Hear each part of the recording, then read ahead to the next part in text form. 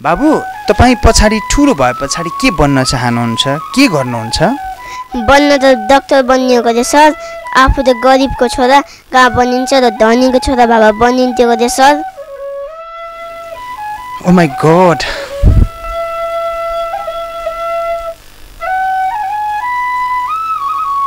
म निशब्द भएँ। गरिबले सपनै देख्नु हुँदैन भनेर भन्ने कहीँ पनि लेखेको छैन। मन बिनाको धन ठुलो के धन बिनाको मन?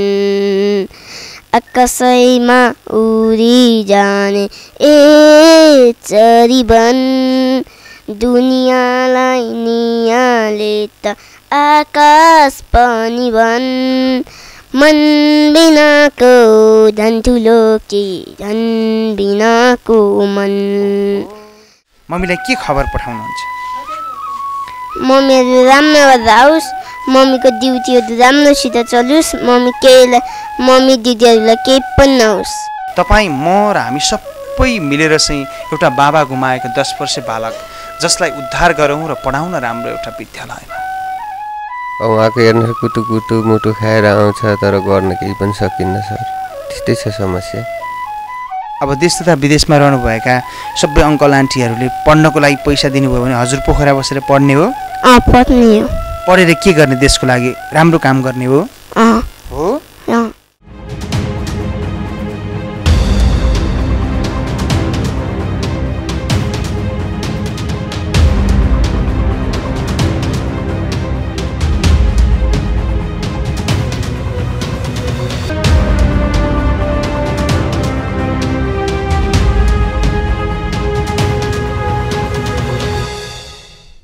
नेपालीको पहिचान राष्ट्र निर्माणमा हाम्रो अभियान। नमस्कार। फेवा टेलिभिजनको प्रस्तुति कार्यक्रम हामीलाई भन्नु छको प्रतीक्षा गरेर बस्नुभएका समस्त दर्शक महानुभावलाई हार्दिक स्वागत छ। यो मध्यराति भए पनि। म हेमराज मेरा क्यामेरा पर्सन समीरसँगै प्रस्तुत भएका छौँ। हो हामीलाई भन्नु छ देश समृद्धिको बाटोमा जाओस् सम्पूर्ण नेपालीहरूले शान्तिको सास फेर्न पाओस् जताततै विकासका मूलहरू फुटुन् दिलभित्र देश बोक्नुभएका करोडौँ नेपालीहरू यो देश निर्माणको निम्ति एक भएर जुटुन्। हामीलाई यो पनि भन्नु छ अपराध रहितको सुशासनसहितको समृद्ध राष्ट्र चाहिएको छ। तर के गर्ने? दर्शक महानुभाव यता फर्किने समस्या यता फर्किने समस्या अगाडि हेरे पनि समस्या पछाडि पनि समस्या। समस्यै समस्याका बावजुद पनि नेपाली जनता सम्भावना खोजेर बसिरहेका छन्। यो शाश्वत सत्य कुरा हो। त्यसर्थले गर्दा हामीसँग तिन तिन सरकार छ स्थानीय सरकार प्रदेश सरकार केन्द्र सरकार। तिनै सरकारले प्रभावकारी काम गर्नुपर्छ। हिमाल पहाड तराई कोही छैन पराई दिलभित्र देश छ र नेपाली बेस छ। कसैको नाक लामो होला कसैको छोटो होला कोही कालो होला कोही गोरो होला। हो हामी नेपाली हौँ। सर्वोच्च शिखर सगरमाथाको देशको नेपाली नागरिक हुँदै गर्दाखेरि गर्वले छाती चौडा बनाउँदै भन्न मन लाग्छ सयौँ थुङ्गा फुलका हामी एउटै माला नेपाली। दर्शक महानुभाव नेपाल समृद्ध भएको देख्ने रहर यो कपाल कालो हुँदैछ तर पनि अझै थुप्रै नेपालीहरू गरिबीको रेखामुनि छन् र शिक्षाको उज्यालो ज्योति लिनबाट वञ्चित छन्। कतिले त राम्रोसँग सहर र देशको राजधानी प्रदेशको राजधानी पनि पुग्न सकेका छैनन्। गाउँ र बस्तीमा उकाली र ओह्राली भन्ज्याङ र चौतारी गर्दै आफ्ना जिन्दगीका पानाहरू पल्टाइरहेका छन् पल्टिरहेका छन् र सरकारवाला निकाय ती पल्टाइरहेका जिन्दगी जो अद्भुत क्षमतामा पनि त्यत्तिकै प्रखर छन् भनेर भन्ने कुरालाई हामीले बिर्सनु हुँदैन। हामीसँग तिन तिन सरकार छ स्थानीय सरकार प्रदेश सरकार केन्द्र सरकार। यो देश समृद्धिको बाटोमा गएको र किसानहरू प्रफुल्ल भएको देख्ने रहर अझै पनि मनमा मरेको छैन। हाम्रो हजुरबा यत्तिकै सारा संसार छोडेर जानुभयो। उहाँको पनि सोच थियो देश विकास भएको देख्ने। अब भाषणमा होइन देश साँच्चीकै विकास भएको देख्ने रहर छ र हाम्रै पालामा परिवर्तन आवश्यक छ र सम्भव छ पनि। नेपाल त्यस्तो देश हो देख्दाखेरि किरो जस्तो देखिने तर बहुमूल्य जडीबुटी यार्सा गुम्बा पाउने देश नेपाल हो र कडा चट्टानहरूलाई फोडेर उम्रिने पिपलको देशको नागरिक हामी। अनि हामी त्यही देशको नागरिक खाँदाखेरि अत्यन्तै तितो तर बहुमूल्य जडीबुटी चिरैतो पाउने देशका नागरिक। जलस्रोतको दोस्रो धनी राष्ट्र हुँदै गर्दाखेरि कुलमान सिंह घिसिङलाई सल्युट गर्न चाहन्छु र ऊर्जा मन्त्रालयलाई म सल्युट गर्न चाहन्छु। अहिले नेपाली जनता अन्धकारमा बस्नु परेको छैन। हो कुनै पनि नेपाली नागरिक शिक्षाको उज्यालो ज्योति लिन लिनबाट हो कुनै पनि नेपाली नागरिक शिक्षाको उज्यालो ज्योति लिनबाट वञ्चित नहोस्। कोही गरिब भएर जन्मिँदैमा ऊ उसको दोष होइन। कोही गरिबीको रेखामुनि रहेर जिउँदैमा ऊ दोषी होइन। कोही गरिबीको रेखामुनि भएर जिउनु के अपराध हो र पक्का पनि होइन। आज एउटा यस्तो स्टोरीसँग यो मध्यराति हामी जोडिँदैछौँ। र हेमराज आज एउटा विशेष खास स्टोरीमा तपाईँसँग जोडिँदैछ। वर्ष दसका एक बालकले वर्ष चौधकी आफ्नै दिदीलाई मृत्युबाट बचाए। कसरी बचाए? वर्ष दस दस वर्षका ती बच्चालाई त्यो त्यत्रो ठुलो ज्ञान कसरी आयो? मान्छे सानो ठुलो उसको व्यवहारले हुन्छ। उमेरले होइन रहेछ। मैले यो कुरा भने मान्छे सानो ठुलो उसको व्यवहारले रहेछ उमेरले होइन रहेछ दर्शक महानुभाव। आज एउटा ज्वलन्त उदाहरण म तपाईँ समक्ष प्रस्तुत गर्नको लागि उपस्थित भएको छु।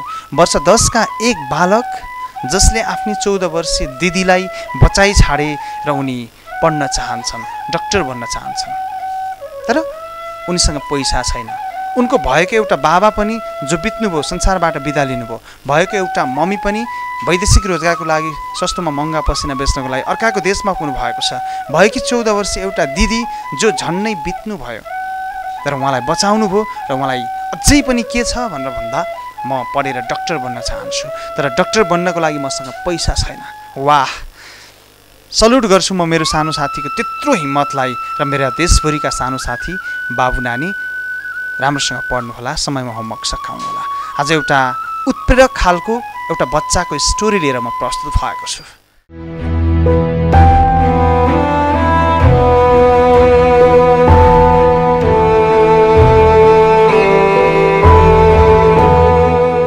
मनोवैज्ञानिकहरू भन्छन् कुनै पनि मानिसले जीवनमा कुनै न कुनै बेला आत्महत्याको सोचाइ राखेको हुन्छ।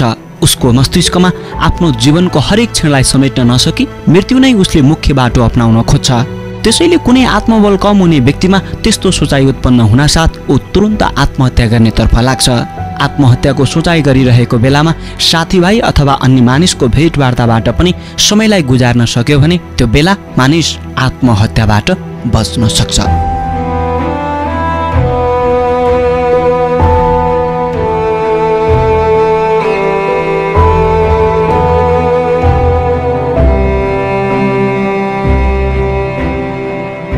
यस्तै प्रकृतिको एउटा दुर्घटना बागलुङको गलकोट नगरपालिका वडा नम्बर तिनमा एक दस वर्षीय बालक रमनका कारण जोगिएको छ।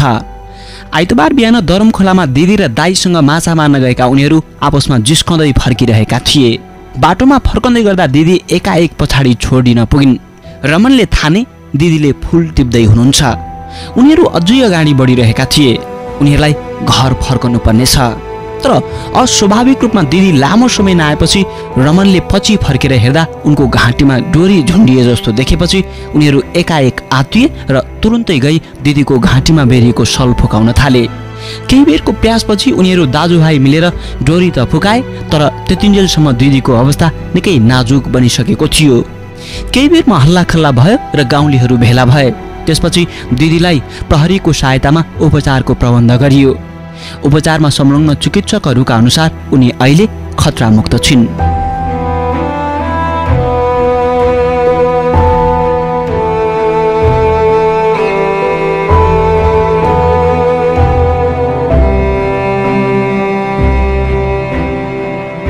बागलुङको गलकुट नगरपालिका वडा नम्बर तिन घर भएका उनीहरू अहिले अभिभावकविहीन छन्। मुस्किलले बाबाको अनुहार मात्र याद रहेको बताउने रमनकी आमा अहिले वैदेशिक रोजगारीका सिलसिलामा पढाइ भूमिरहेकी छन्। कक्षा चारमा पढ्ने रमनसँगको कुराकानीमा उनले आफ्ना इच्छा र आकाङ्क्षाहरू अर्थ अभाव र कमजोर पारिवारिक अवस्थाका कारण बालापनमै तुहिएर गएका बताए। उनकी दिदी अहिले स्थानीय एक स्कुलमा कक्षा छमा अध्ययन गर्दैछिन्। चौध वर्ष उमेर पुगेकी ती किशोरीले चालेको पछिल्लो कदमका बारे अनुसन्धान भइरहेको प्रहरीले जनाएको छ। तर बालबालिकाहरूलाई पारिवारिक स्नेहबाट विमुख राख्दा यस्ता प्रकारका गतिविधि हुनुले सिङ्गो नेपाली समाजको बालबालिकाप्रति उनीहरूको दायित्वमा गम्भीर चिन्ता चासो र चुनौती थपिएको छ।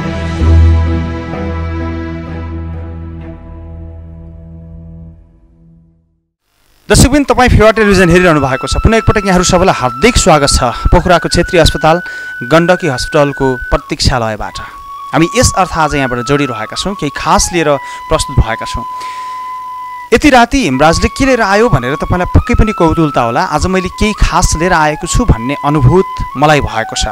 र अफियरमा मैले सरसर्ती सुन्दै गर्दाखेरि मलाई नि अचम्म लाग्यो र म तपाईँलाई सुरुमै अनुरोध गर्छु सबै कार्यक्रम हेरिसके पछाडि तपाईँ पनि केही सहयोग गर्न चाहनुहुन्छ भने आफ्नो सहयोगी हातलाई फैल्याउनु होला। प्रसङ्ग हो बागलुङको। दर्शक महानुभाव गलकोट नगरपालिका वार्ड नम्बर तिन बागलुङ निवासी वर्ष दसका रोमन परियार मात्र उनी दस वर्षका छन् र कक्षा चारमा अध्ययनरत छन्। उनले आफ्नै साख्य दिदी वर्ष चौधकी थनसरालाई बचाएका छन्।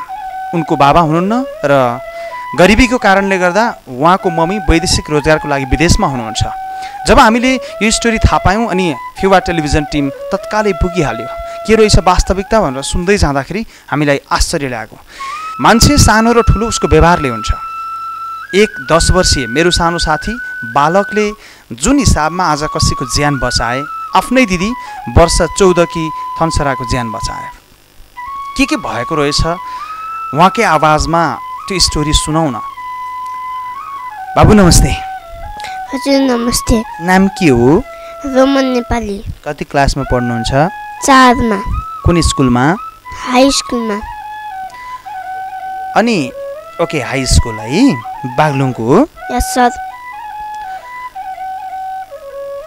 अनि घरमा को को हुनुहुन्छ अरू? म र दिदी मात्रै। दिदीको नाम? दिदीको नाम थम्चरा परियार। त्यहाँ जुन घटना घट्यो नि बाबु कसरी घट्यो सरसर्ती भनिदिनुहोस् न। हिजो राति थम्चरा हामीसित बाबु लेखेकी रहेछ। ईश्वरले पढ्न जानेन अनि फेरि उतापट्टि गएर सोधेछ बाबुलाई अनि मेरो नाममा भनेर त्यहीमा गिजाँदै थियो। अनि त्यहाँबाट हिजो सुमन आयो। सुमन भनेको चाहिँ को हो? थम्चराको क्लासको साथी। ए थम्सराको क्लासको साथी। दिदी कतिमा पढ्नुहुन्छ? छ एमा। छ सेक्सन ए। Yes sir. अनि तिमीले के दिन्छौ त्यस्तो गन्दगी मुखले सुमनको नाम भनी। अनि सुमन आइरहन गउने बेलामा मलाई पिटेर म रोएँ अनि फेरि सुमनले पिटेको अह दिदीले पिटेर। ए तपाईँको दिदीले चाहिँ तपाईँलाई पिट्नुभयो तपाईँ रुनुभयो? अँ अनि मम्मीले फोन गरेर भनेपछि ऊ रिसी अनि फेरि तपाईँलाई पिटेको चाहिँ मम्मीले फोन गर्दा तपाईँले भन्नुभयो हो? अँ भन्नु हे अनि फेरि म सुतेँ भात भात खाएर अनि अङ्कलकोमा गएर भात खाएर सुतेँ। अनि फेरि आएँ अनि बिहान उठेपछि उसले उतापट्टिको सीताको बहिनीलाई भात लिएर खाँदै थिएँ। अनि जाम माछा पाना भनेर म गएँ। अनि म के खोलामा? कुन खोलामा? ऊ दरम खोलामा। दरम खोला बागलुङको दरङ दरम खोला। अनि फेरि साना साना मान्छे लिएर थियो दुई तिनवटा। अनि फेरि त्यहीमा जाम फेरि पाउन भने एकपल्ट गयौँ त्यही सानो खोलामा। अनि गएर आयौँ। अनि फेरि भात सात अन्त यता आयौँ बेलामा जाम उता पाउँदिन भैँसी पुलतिर रङ्ग पनि हुन्छ भनेर हामी पनि आयौँ अनि बाटोमा हामी नाम झार राख्दै राख्दै आएको थियौँ कसको नाम राख्दै आउनुभयो उसले हामीलाई बाहुनवीर भन्ने हामीले उसलाई कालमाता भन्ने गर्दै गर्दा आएको थियौँ कसले ऊ भनेको को दिदीले का दिदीले तपाईँलाई के भन्नुभयो बाहुनवीर भन्ने अँ अनि फेरि म पनि त्यसलाई कालमाता भने अनि भन्दा भन्दा हामीले ऊ फुल टिप्न थिएँ अनि जामेल त फुल टिप्न लाएँ उसको पछि भन्दा हामी पर गएर है। हामी भनेको चाहिँ को को? म म र ईश्वर राई म पर गएर ईश्वर भनेको चाहिँ कसको साथी? अङ्कलको छोरा। तपाईँको साथी? अह अङ्कलको छोरा। कति वर्षको हुनुहुन्छ उहाँ चाहिँ? ठुलै हो? अँ। त्यहाँबाट किन आइनी यो भनेर हेर्न जाँदा त उहाँ अनि ईश्वरले जाम्बो अहिले हामी पढ्छौँ त्यही भएर ऊ जाम्बो अहिले जाम बाबालाई बोलाएर हामी भन्दा हामी जाँदाखेरि त यो त मरिसक्छ त्यही भएर फुगाएर जाम भन्दा उसले मानेन। अनि ल ल छिटो गर्का भन्दा मैले बल्ल बल्ल गरेर भने त्यसलाई अनि मैले उच पहिला उसले उचाले अनि मैले फुगाउन सकेन। अनि मैले उचाले दिदीलाई अनि उसले बल्ल बल्ल फुगाएको थिएँ। अनि फेरि कहाँ फुकायो? अनि आन्टीले देख्नु भएको रहेछ। त्यो आन्टीलाई आउनु न छिटो आउनु। भन्दा रुँदै रुँदै भन्यो भने आउनु भएन। त्यहाँबाट बल्ल आउनु। कति बजेतिर गयो? बिहान दिउँसो बेलुका कति बजेतिर? छ सात बजे थियो क्या। बेलुकाको? अँ बिहानको। अनि त्यति बेला चाहिँ फुल टिप्नु लागेकोमा धेरै क्याङ्का नगर कहिले म कुदाइहालिस् नि भने। अनि म गएँ फुल टिप्नु लाएको थिएँ फुल टिप्दाखेरि हामी गयौँ गरे अहिले चाहिँ सुको भन्ने भन्दै गएँ अनि पर गएर हेर्दा त ऊ नाम्लो भानुको जस्तो देख्यौँ जान्थ्यो उहाँ थम्जा पानीकोमा किन नाम्लो जस्तो देखियो भन्नु हिँड्दा त सब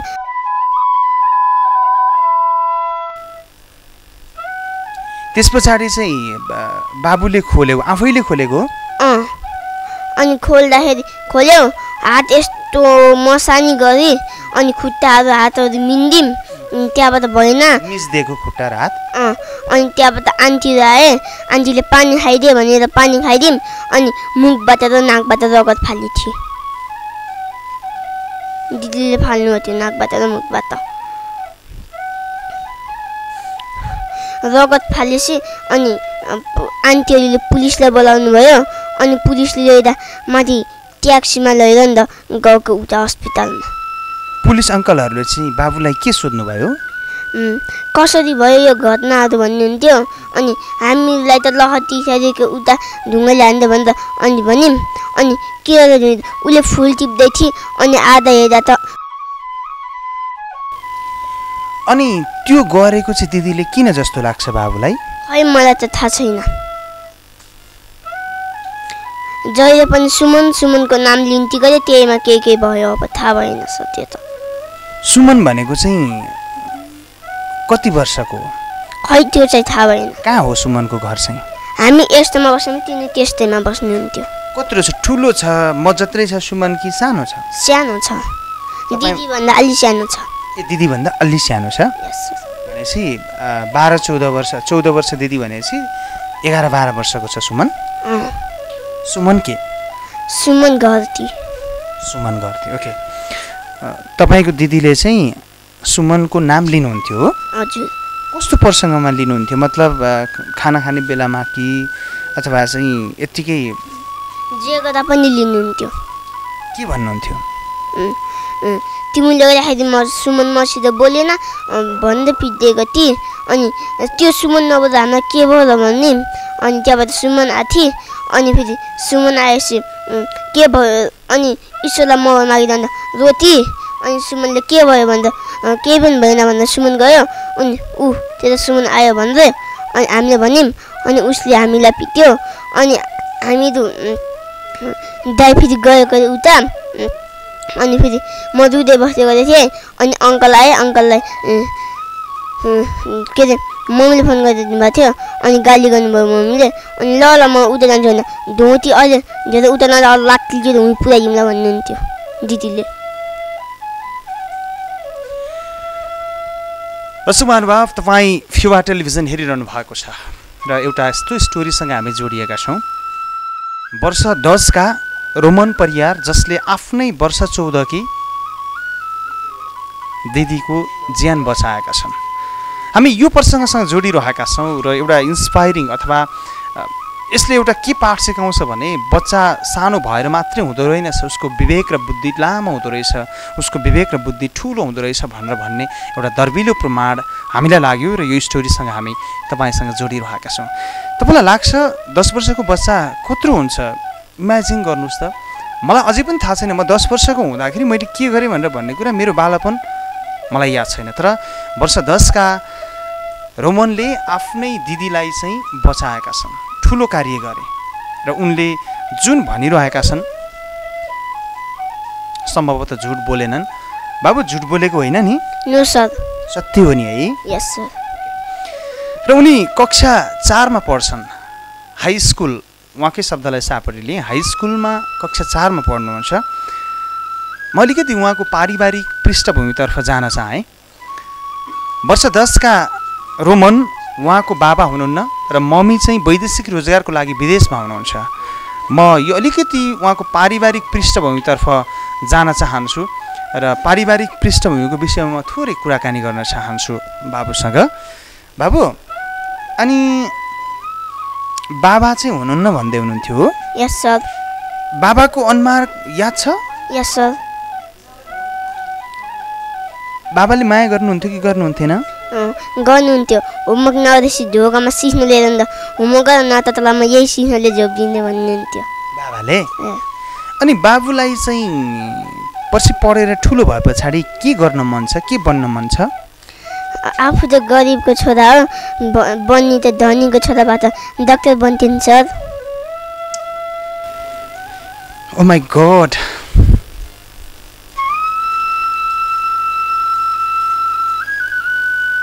म निशब्द भएँ।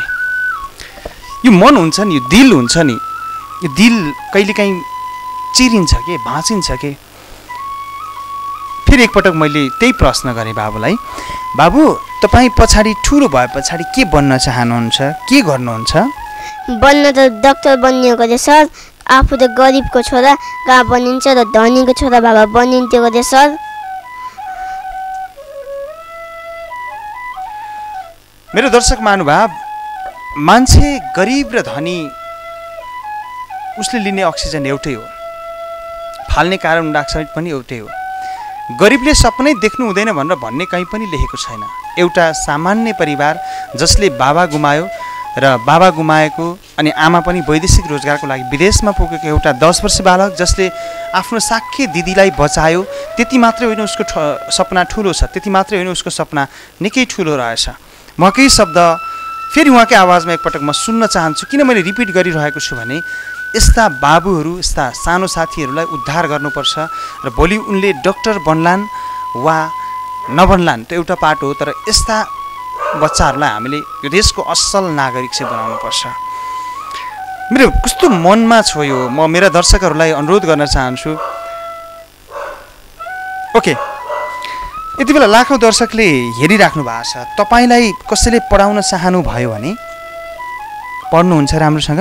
यस सर म त पढ्छु। तपाईँ पढेर चाहिँ डक्टर बन्न चाहनुहुन्छ हो? यस सर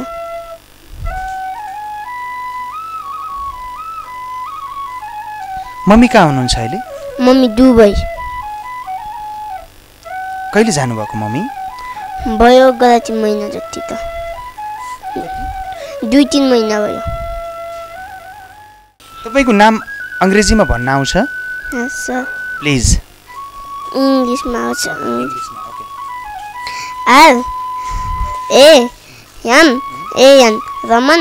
सम्पूर्ण टेलिभिजन हेरेर बस्नुभएका दर्शक महानुभाव म एउटा अनुरोध गर्न चाहन्छु एउटा गरिबको छोरो जो पढ्न चाहन्छ आर्थिक अवस्था अत्यन्तै कम छ। आर्थिक अवस्था कम भए तापनि उहाँले अघि भनेको शब्द सुन्नुभयो नि। के गर्ने अङ्कल? म त गरिबको कोखबाट जन्म लिएँ धनीको छोरा पो डक्टर बन्छन् त। मैले के बन्न सक्छु र? क्या हट टचिङ कस्तो दिलभित्र गढ्ने शब्द भन्नु उहाँले? यत्रो सानो बाबुले आफ्नो दिदी पनि बचाउनु भयो मलाई लाग्छ मैले धेरै सानो साथीहरूको अन्तर्वार्ता लिएको छु यसै गरी यो पत्रकारिता क्षेत्रमा लागिसके पछाडि। सम्भवतः हट टचिङ यो दिलमै घोस्ने शब्द उहाँले भन्नुभयो। म मेरा दर्शकलाई अनुरोध गर्छु देश तथा विदेशमा हुनुहुन्छ। तपाईँहरू थुप्रै मनकारी हुनुहुन्छ। मलाई थाहा छ राकेश बचाउ अभियानमा पनि यहाँले साथ दिनुभयो। अनि पोखरा महानगरपालिका वार्ड नम्बर तेह्र स्थित डी गाउँकी अ, गोठाल्नी देबुआमा जसले अर्काको पचपन्नवटा बाख्रा चराएर गुजारा गर्नुहुन्थ्यो। उहाँलाई बाख्राको खोर बनाउन पनि साथ दिनुभयो। म अपेक्षा गर्छु र यहाँसँग यो माग्छु कि यो बच्चालाई राम्रो विद्यालयमा पढाउन राम्रो वातावरण एकपटक पढाउन। उहाँको डक्टर बन्ने सपना छ। ठिक छ डक्टर बन्नु होला नबन्नु होला त्यो पछिलाई छोडिदिउँ। तर यो देशको असल नागरिक बन्नलाई नरोकौँ न। अ, बाबा बितेको यतिका समय भयो भन्नुभयो होइन? बाबु? अनि तपाईँ र दिदी चाहिँ कहाँ बस्दै आउनु भएको थियो? हामी कति बेला दरबाङ बस्यौँ।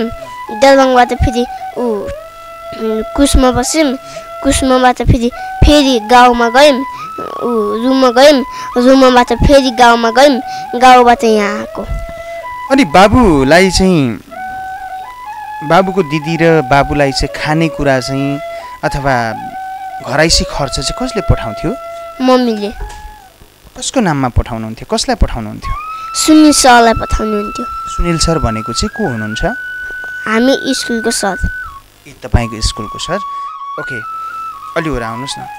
म एकचोटि हक गर्न मन लाग्यो यो बाबुलाई र मैले मेरो तर्फबाट गर्ने सपोर्ट चाहिँ म तपाईँलाई गर्छु। आज एउटी दिदीलाई बचाउनको लागि जुन भूमिका खेल्नुभयो हो नि दिदीलाई बचाएको है? बचाएको? हो। अनि त्यो विवेक चाहिँ कहाँबाट आयो बाबुलाई यस्तो गर्नुपर्छ वर्ष दसको? मान्छे त सानो छौ नि। सब म्यामहरूले सिकाउनुहुन्थ्यो। गुड थ्याङ्क्स अब बाबु हाई स्कुलमा पढ्नुहुन्छ है? त्यो हाई स्कुलको सम्पूर्ण गुरुहरू टिचरहरूलाई मेरो सम्मान छ बच्चाहरूलाई यस्तै गाइडलाइन गर्नुपर्छ। आखिर पैसामा ऊ गरिब थियो त के भएर तर मनले उधनी भयो र आफ्नी दिदीलाई बचायो। द वे त्यहाँ थोरै मिस्टेक हुन्थ्यो भने उहाँको दिदीलाई आज उहाँले दिदी भन्न पाउनुहुन्थेन र उहाँको दिदीको स्वास्थ्य उपचारमा खट्ने सम्पूर्ण डक्टर नर्स र सम्पूर्ण व्यवस्थापन लगायत सबैलाई म सबै नै अनुरोध गर्न चाहन्छु कि उहाँलाई चाँडोभन्दा छिटो चाँडोभन्दा चाँडो निको पारिदिनुहोस्। ओके बाबु अनि विदेशमा भन्नुभएको मम्मीलाई चाहिँ के भन्नुहुन्छ आज? मम्मी ले त हामीलाई त केही भन्नुहुन्न। तपाईँ चाहिँ के भन्नुहुन्छ मम्मीलाई हाम्रो यो टेलिभिजनको कार्यक्रम मार्फत? मम्मी मम्मीलाई के खबर पठाउनुहुन्छ? मम्मीहरू राम्रो गरेर आओस् मम्मीको ड्युटीहरू राम्रोसित चलोस् मम्मी केहीलाई मम्मी दिदीहरूलाई केही पनि नहोस्। मम्मी दिदीहरूलाई केही पनि नहोस् मम्मीको ड्युटी राम्रोसँग चलोस्। मम्मीहरू राम्रोसित आओस्। मम्मी राम्रोसँग आओस्। अनि मम्मी आउँदा चाहिँ के ल्याइदियोस् मम्मीले? मम्मीले रिमोटवाला कार ल्याइदिनु भन्नुहुन्थ्यो। मम्मीले रिमोटवाला कार ल्याइदिने भन्नुहुन्थ्यो? मामा घर कहाँ हो? मामाको त बाउलुङ। ओके एकैछिन यहीँ बस्नुहोस् ल। म तपाईँको मामासँग अलिकति कुरा गर्छु है। यहीँ हुनुहुन्छ। उहाँको मामा मसँग हुनुहुन्छ। म म अचम्ममा परिरहेको छु। क्षमता हाम्रा सहरका साना साथीहरू तपाईँ पनि टाठो हुनुहुन्छ। यद्यपि एउटा सामान्य परिवारमा गरिब परिवारमा गाउँमा जन्मेर हुर्केको एउटा दस वर्ष बालक जसको सोचाइ जसले बोलेको कुरा तपाईँलाई अचम्म लागेन? मलाई चाहिँ एकदमै अचम्म लाग्यो। र अर्को कुरा के भने फेरि पनि मैले दोहोऱ्याएँ। डक्टर बन्ने त धनीको छोरा हो नि अङ्कल। म त गरिबको छोरा। पैसा हुन्थ्यो म पनि सम्पत्तिवालको छोरा हुन्थ्यो भने डक्टरै बन्न मन थियो नि। हो दर्शक महानुभाव सम्भव छ। पढ्न सकिन्छ। तपाईँ म र हामी सबै मिलेर चाहिँ एउटा बाबा गुमाएको दस वर्ष बालक जसलाई उद्धार गरौँ र पढाउन राम्रो एउटा विद्यालयमा। मामासँग कुरा गर्छु। नमस्ते। नमस्कार। हजुरको नाम? सुरेश परियार। तपाईँको भान्जाले त अचम्मको कुरा गर्नुभयो। मलाई नै अचम्म लाग्यो। होइन कुरा यही हो सर। अब हुने भएको यही हो अरे। मैले पनि अब ढिलो खबर पाएको थिएँ। ढिलो खबर भन्दा नि म त तिन बजीतिर आएको थियो। बागलुङ एम्बुलेन्समा लिएर आउनुभएको थियो उहाँ ज्वाइँले। त्यसरी चाहिँ म त आएको यहाँ पखरा। अब भान्जाले त्यो भन्नुहुन्छ अब सानो बच्चा अब उनको त विश्वास होला। तर पनि भएको त्यही हो अरे बा भान्जा अलि अलि टाठो नै रहेछन् है। भान्जा धेरै टाठो। स्कुलमा नि ट्यानेल हुनुहुन्छ। पढाइ राम्रो छ तर पनि के गर्ने? पढाइ त्यस्तै छ। मम्मी कता? अब बाबा बित्नुभयो। अब मामा पनि त्यस्तै छन्। अब त्यही हो बगाले दाजुभाइ भएपछि कोहीले स्याहार नपाउने भन्ने त्यस्तै समस्या सबैको त्यस्तै रहेछ। अब भान्जी अब त्यस्तो हालतमा हुनुहुन्छ अब ठिक भए त धेरै राम्रो हुन्थ्यो। ठिक नभए झन् समस्या आउने भयो। त्यस्तै छ आफ्नो आर्थिक अवस्था। ठिक छ। तपाईँको भान्जी हाम्रो पनि भान्जी हो र हाम्रो सानो साथी हो। म पनि पहल गर्छु पक्का पनि। हस्पिटल व्यवस्थापनसँग सँगै सबैसँग म पहल गर्छु। अर्को कुरा चाहिँ मलाई एकदमै हट टचिङ लाग्यो क्या एकदमै मनमा बस्यो। अघि भान्जोले भनेको शब्द सुन्नुभयो? सुन्यो सबै सुन्यो।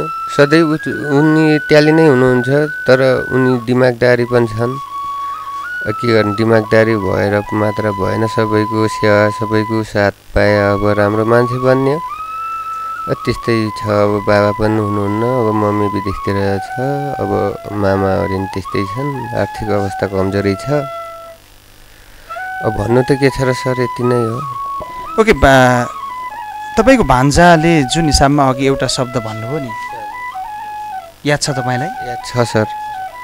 अब याद त के हो नि उहाँ त अब पढाएसम्म त अब इन्जिनियर डक्टरै बन्छु भन्ने उहाँको सोचाइ छ। त्यो कसले सक्ने अब मामाहरूको पनि त्यति क्षमता छैन। आर्थिक अवस्था कमजोरी छ। उहाँको हेर्नु कुटु कुटु मुटु खाएर आउँछ तर गर्न केही पनि सकिन्न सर। त्यस्तै छ समस्या। यति बेला यो टेलिभिजनको यो कार्यक्रम हाम्रा लाखौँ दर्शकले देश तथा विदेशमा बसेर हेरिराख्नु भएको छ होइन? कोही मान्छे पढाउँछु म उहाँलाई भनेर हाम्रो सम्पर्कमा आउनुभयो भने पढाउनको लागि दिनुहुन्छ भान्जा? म दिन्छु। बहिनीसँग म कुरा गरेर बहिनीसँग सल्लाह मागेर म दिन्छु। अब बहिनी छ अहिले दुबई कुवेतमा बसेछ। अब एक दुई दिनपछि छुट्टी आउँछु भने त्यही छोरीको पिरले आउने हो। अब छोरी त्यस्तो भएपछि अब मम्मीले नि के गर्नु सक्ने? यहाँ छोराछोरी नि त्यस्तै अब गाह्रै छ। अब बोर्डिङ पढाउनको ठुलो रकम चाहियो। अब हाई स्कुल पढायो त्यस्तै छ। अब समस्या जता छ त नि समस्या छ सर। नहातिनुहोस् पहिला यो हाम्रो कार्यक्रम प्रसारण होस् देश तथा विदेशका नेपाली माझ पुगोस् मलाई लाग्छ नेपालीहरू मनकारी हुनुहुन्छ। हामी एउटा माध्यम बन्न सकौँ र यो दस वर्षीय बच्चा जसको यो क्षमतालाई हामीले सम्मानका साथ असल नागरिक हुनमा टेवा पुर्याउन सकौँ। यहाँलाई धन्यवाद। हस् त नमस्कार ल। मेरो यति। फेरि म मेरो सानो साथीसँग म जोडिन चाहन्छु। अलि हो आउनुहोस् न। अङ्कलसँग कुरा गर्दा कस्तो लाग्यो? राम्रो लाग्यो। राम्रो लाग्यो? यस सर पोखरा यहीँ बसेर चाहिँ पढ्न मन लागेको छैन? खै सर यहाँको स्कुलै देखेको छैन। स्कुलै देखेको छैन? यदि स्कुल हामीले देखायौँ भने हाम्रा दर्शकहरू आएर चाहिँ स्कुल देखाउनु भयो भने तपाईँ यहीँ बसेर पढ्नुहुन्छ? खै थाहा छैन यो चाहिँ। के हो के गर्नुहुन्छ त? यहीँ बसेर चाहिँ यहीँको साथीहरूसँग चाहिँ मजाले ब्याग बोकेर स्कुल गएर पढ्नलाई मन लाग्छ? चट्ट गाडीमा चढेर स्कुल जाने? लाग्नु त लाग्छ नि सर तर पैसाहरू छैन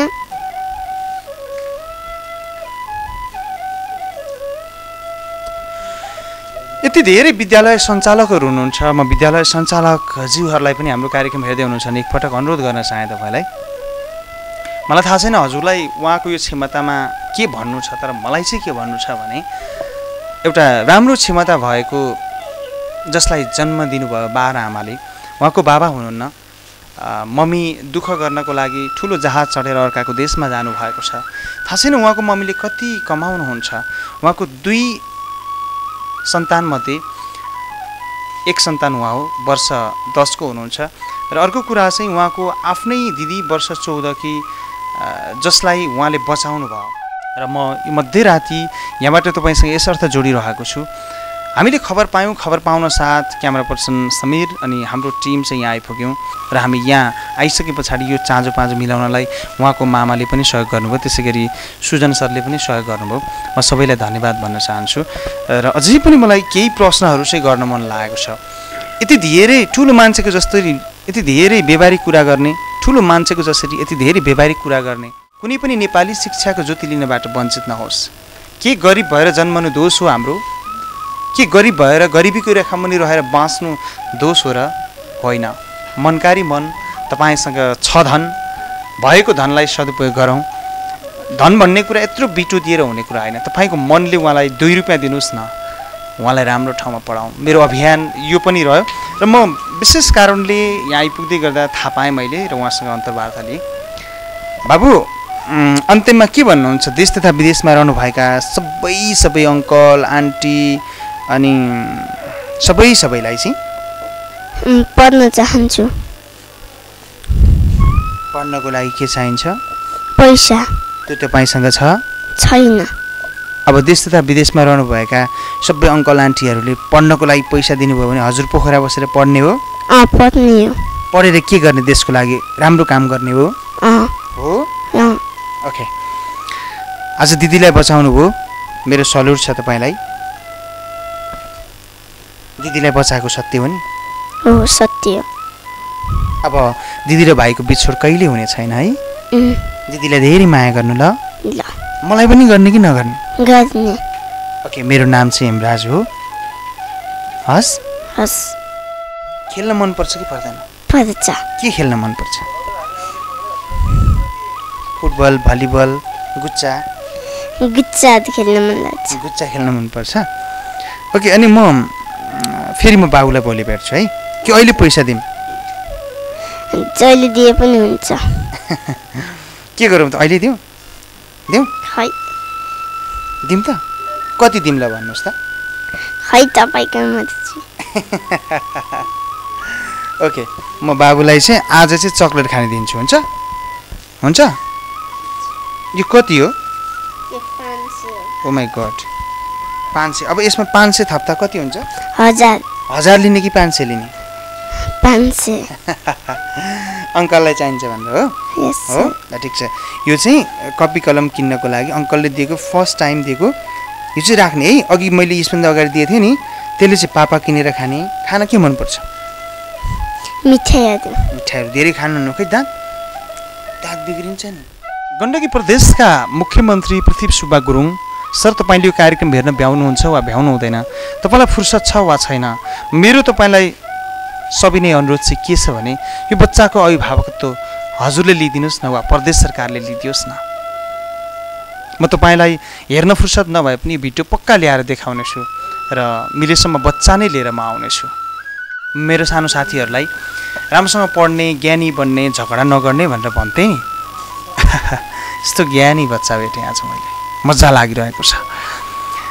बाबु फेरि एकचोटि मलाई भनिदिनुहोस् न तपाईँले पछि ठुलो भए पछाडि चाहिँ के बन्न मन छ अरे?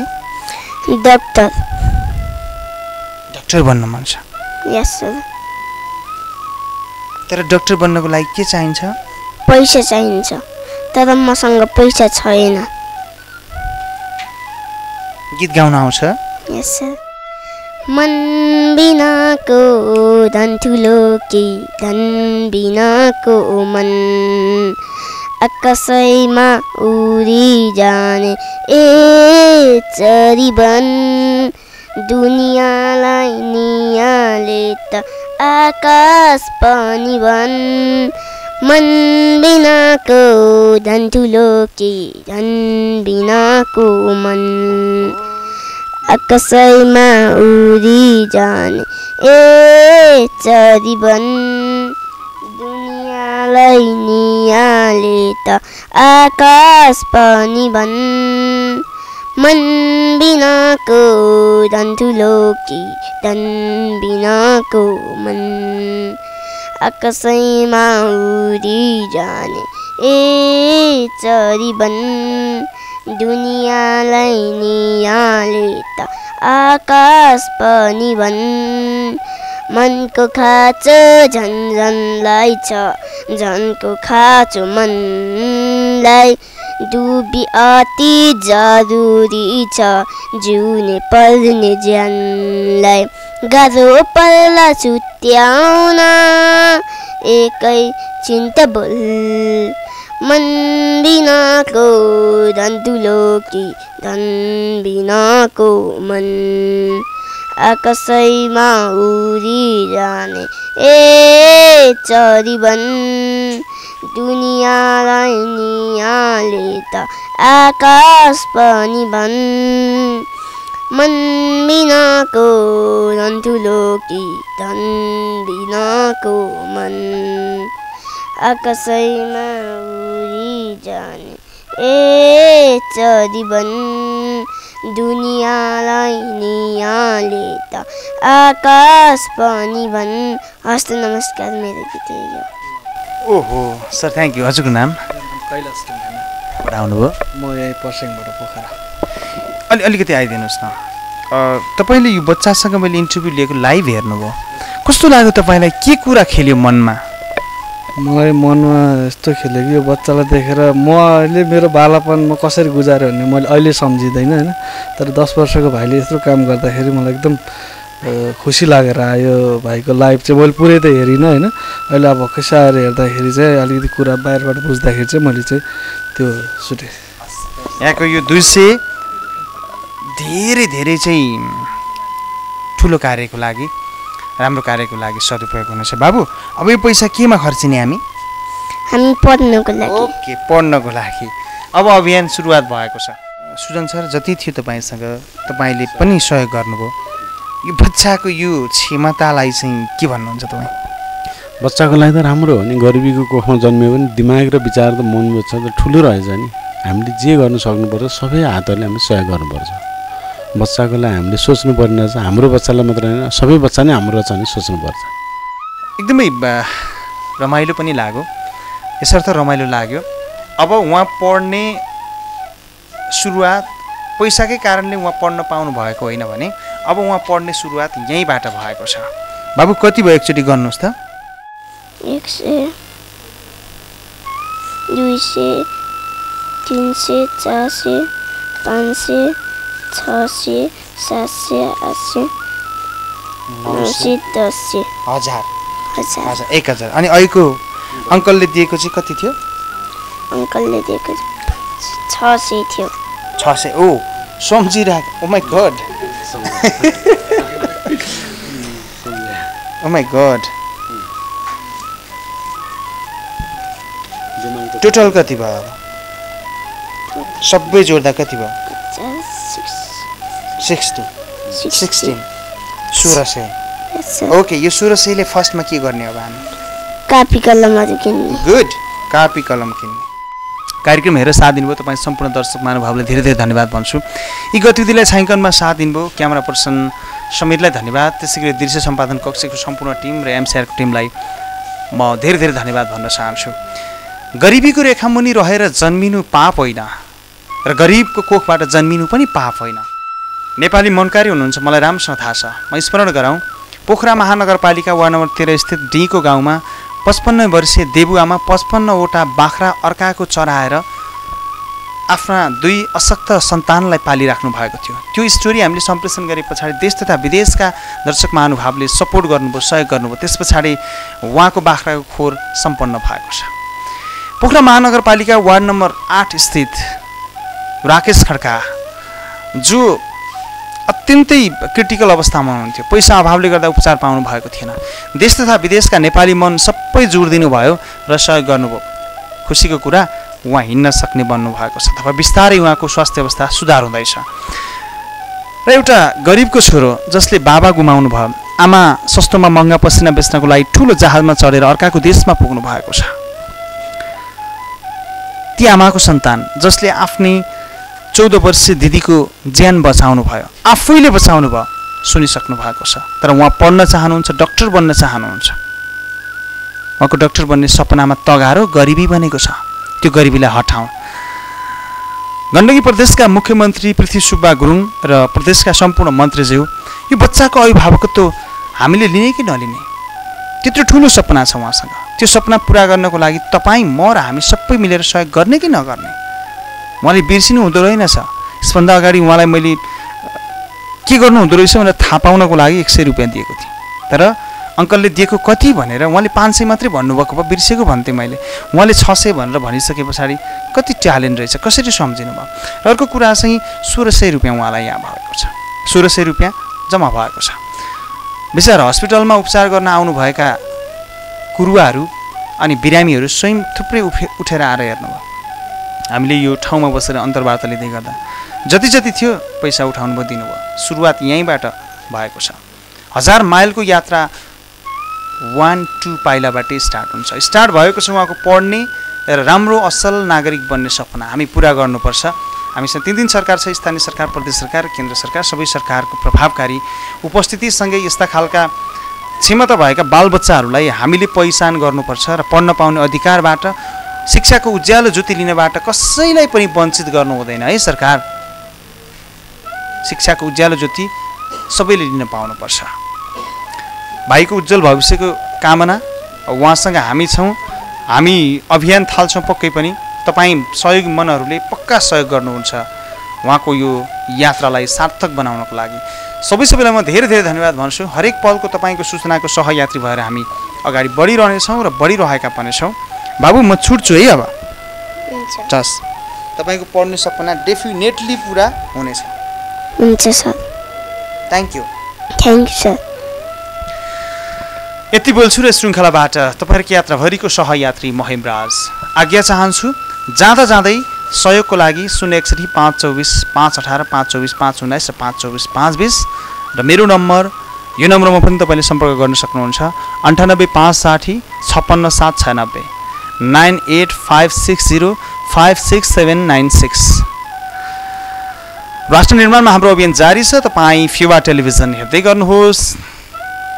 नमस्कार।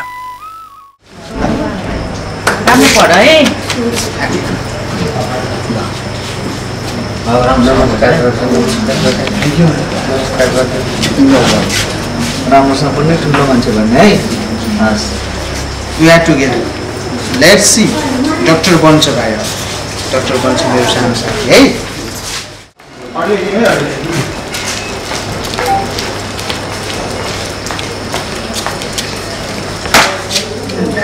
Love you all